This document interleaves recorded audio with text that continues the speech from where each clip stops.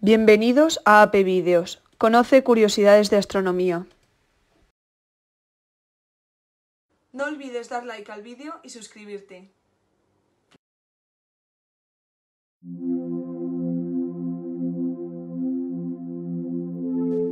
¿Qué es una galaxia?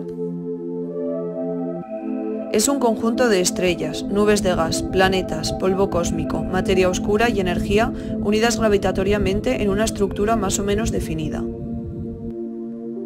¿Cuántas galaxias existen? Las últimas estimaciones calculan ya 2 billones de galaxias, 2 millones de millones de galaxias.